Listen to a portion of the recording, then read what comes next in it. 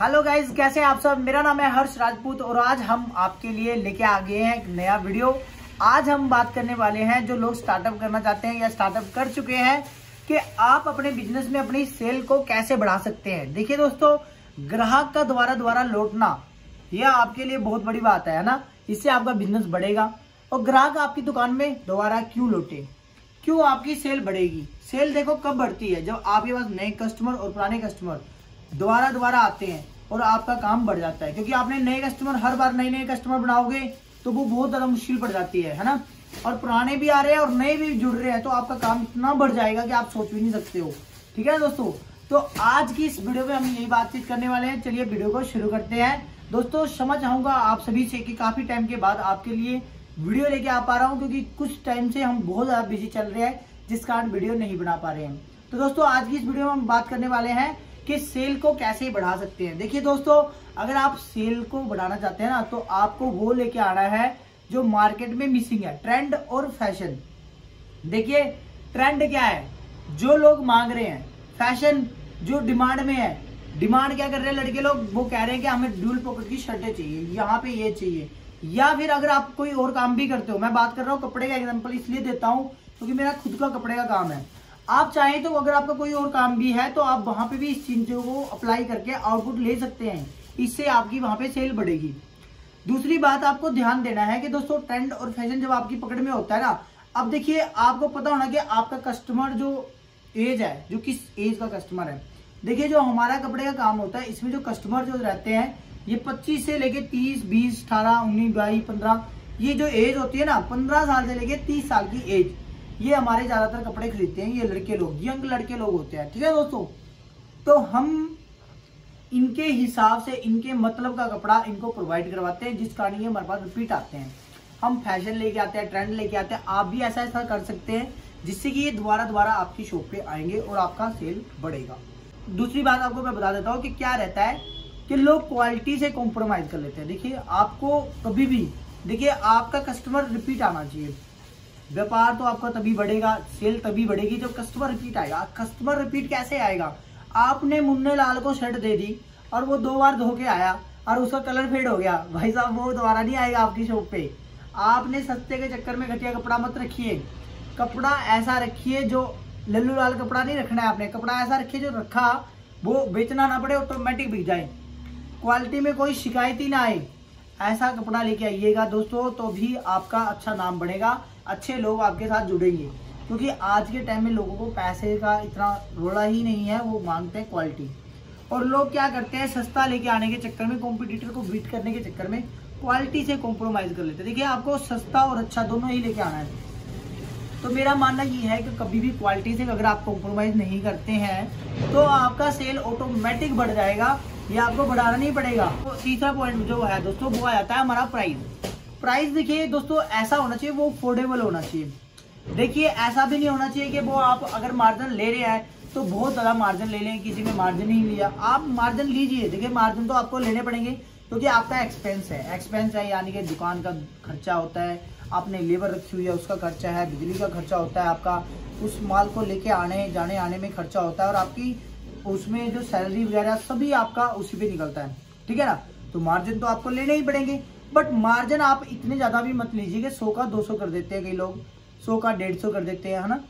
आपको ऐसा मार्जिन लेना है कि आपका बिल्कुल ही जनरल मार्जिन हो वो। इसमें आपका काम भी चलता रहे और कुछ पैसा आपको बचे भी और कस्टमर का भी कुछ पैसा बचे।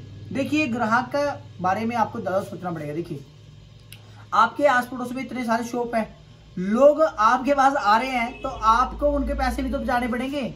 आप सोचते हैं कि सारे पैसे मैं ही बचा लूँ, अपनी जेब भर लूँ तो ऐसा नहीं होता है। आपको बीच बीच में उनके लिए ऑफ़र लेके आने पड़ेंगे, स्कीम लेके आने पड़ेंगे, डिस्काउंट लेके आने पड़ेंगे, फेस्टिवल ऑफ़र लेके आने पड़ेंगे। क्या आप उनको कई बार, जैसे कि वो पाँच हज़ार, चार हज़ार का कपड़ा खरीदते, क्या आप उन्हें कोई गिफ्ट दे दें है? ना? ऐसे ऐसे छोटे छोटे से काम करके भी आप अपनी सेल को बढ़ा सकते हैं। ये आपको लगता तो खर्चा है पर ये खर्चा नहीं होता दोस्तों। इसका लॉन्ग टर्म में पता लगता है ये एक अच्छा इम्पैक्ट डालते हैं आपके कस्टमर पे। ठीक है जो हमारा फोर्थ पॉइंट आ जाता है इसमें आ जाती है हमारी होने वाली डीलिंग कस्टमर के साथ जो हम डील करते हैं कैसे बात करते हैं क्या आप अपने कस्टमर क्या वेलकम करते हो? जैसे आप बैठे रहते हैं कस्टमर आया अंदर वो घूम लिया पूरी दुकान में आपने हाई ना हेलो सीधा ही प्रोडक्ट निकाल के दिखाने लग जाते हैं उससे हेलो आप करते हैं। एक देखो डीलिंग क्या चीज़ है? डीलिंग समझिए देखिए आपका कस्टमर के साथ होने वाला बिहेव जो उसके दिमाग में कहीं ना कहीं छाप डाल देता है। आपके पास वो आता है, आप हेलो हाई करते हो, आप उससे मिलते हो, आप उससे बात करते हो। हाँ जी सर, कैसे हैं? आपके घर पे कैसे हैं? और सुनाइए सर, काफ़ी टाइम के बाद आए हैं। तो उन्हें एक अच्छा सा फील होता है। ये आपका बिहेवियर आप एक स्माइलिंग फेस रखते हुए उससे डील करते हैं, उसको बताते हैं। आप उससे पूछते हैं कि, सर हाँ जी, आइए जी, बैठिए। है ना? तो ये चीज़ें होती है जो आप किसी से एक अच्छे से दिल से जुड़ जाते हैं तो वो आपको रिकमेंड करता है और लोगों को। बताता है अपनी शॉप के बारे में, आपकी शॉप के बारे में। अब आपका क्या होता है दोस्तों कि वो अपने आस पड़ोस में राहुल कपड़े लेके क्या था। राहुल को आपकी डीलिंग पसंद आ गई। अब राहुल चुप थोड़ी ना बैठने वाला है। राहुल कहेगा, यार, विशाल, वो देखो, हम भाई की दुकान में गए थे, वहाँ पे इतने अच्छे से बात करते हैं, वो इतने अच्छे प्राइस है, इतनी अच्छी क्वालिटी है। तो आपका आधे से ज़्यादा काम तो राहुल ही करने लग जाता है। ठीक है ना? तो दोस्तों, आप भी अच्छे से डील करेंगे ना तो ग्राहक आपको बुलाना नहीं पड़ता है। वो आपसे मिलने के लिए कई बार ऐसे आ जाते हैं। तो दोस्तों नेक्स्ट और लास्ट जो हमारा पॉइंट आ जाता है, आज की इस वीडियो में वो आ जाता है हमारा फिफ्थ पॉइंट फिफ्थ पॉइंट में क्या रहता है कि दोस्तों, आप मार्केटिंग करते हैं तो आपको ये रेगुलर मार्केटिंग करनी है। मार्केटिंग कैसे होती है? आपकी दुकान है, आपके पास क्या रेट है, क्या प्रोडक्ट है, ये लोगों को आप बताएँ। अब ये कैसे पता लगेगा देखिए, लोग सोशल मीडिया का इस्तेमाल करते हैं, इंटरनेट चलाते हैं, वो फेसबुक चला रहे हैं, वो इंस्टाग्राम चला रहे हैं। क्या आप उन्हें अपने प्रोडक्ट घर बैठे बैठे इंस्टाग्राम पे दिखा सकते हो? पोस्ट डाल सकते हो कोई? क्या यार फेसबुक पे कोई आप ऐसे पोस्टर डाल दो जो आपकी दुकान के नाम से आपकी दुकान का पेज बना के डाल दो, जिससे उन लोगों को आपकी दुकान के बारे में पता लगे, आपकी एक मार्केटिंग हो जाए। क्या आप अपने आस पड़ोस में के लोगों को क्या क्या आप होता है पैम्पलेट बांट सकते हो जिससे आपकी दुकान के बारे में उनको पता लगे, वो विज़िट करें। क्या आप व्हाट्सएप ग्रुप क्रिएट कर सकते हो कोई, जिसमें आपके सारे कस्टमर को आप ऐड करके जो भी आपकी दुकान में न्यू न्यू कलेक्शन आती है, आप उन्हें दिखा सकते हो। ठीक है दोस्तों? तो ऐसा सब कुछ नए नए आइडिया से आप अपने शो पे और फुटबॉल क्रिएट कर सकते हैं। और भी इसमें बहुत सारे टॉपिक हैं तो इसके लिए हम पार्ट टू वीडियो आपके लिए लेके आएँगे। दोस्तों, उम्मीद करता हूँ ये आज का हमारा वीडियो आप लोगों के दिल को छुआ होगा। अगर कुछ भी आपकी लाइफ में, आपके बिज़नेस में इसमें कुछ वैल्यू क्रिएट होती है तो मेरा जीवन सफल हो गया। तो दोस्तों, ये वीडियो लेके आने का मोटिव ये है कि बहुत सारे लोग हमारे साथ जुड़े हुए हैं, जो अपना बिज़नेस कर रहे हैं। और बिज़नेस को बढ़ाने के मैंने इसमें टिप्स दिए हैं। मैं कोई इतना बड़ा पढ़ा लिखा इंसान भी नहीं हूँ तो मैंने बहुत बड़ा पीएचडी कर रखी है या मैं एमबीए कर रखी है ना? तो मैं एक छोटा सा व्यापारी हूँ और मैं चाहता हूँ कि मेरी वजह से अगर किसी लाइफ में कुछ इम्पैक्ट पड़ जाए, कुछ काम होगा, बढ़ जाए तो इससे बड़ा काम क्या होगा, ठीक है ना? तो हम जो करते हैं, आपको भी वही बात बता रहे हैं कि आप भी ऐसा ऐसा करेंगे तो आपका व्यापार बढ़ सकता है। तो दोस्तों, मेरा मेरा मेन मोटिव रहता है कि जो हम कर रहे हैं, आप लोगों तक तो बाग पहुँचाए।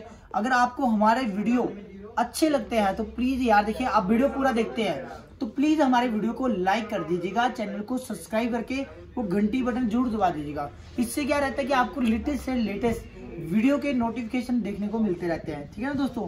तो मिलते हैं दोस्तों नेक्स्ट वीडियो में तब तक टाटा एंड बाय बाय।